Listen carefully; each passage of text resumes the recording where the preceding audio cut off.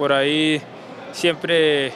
eh, mira más lo que hace el América y no lo que, lo que hace el rival, entonces yo creo que, que nosotros estamos tranquilos sobre eso y seguimos trabajando sin importar lo que, lo que hablen o no hablen de nosotros. Bueno, este equipo siempre ha estado ahí peleando en los últimos años,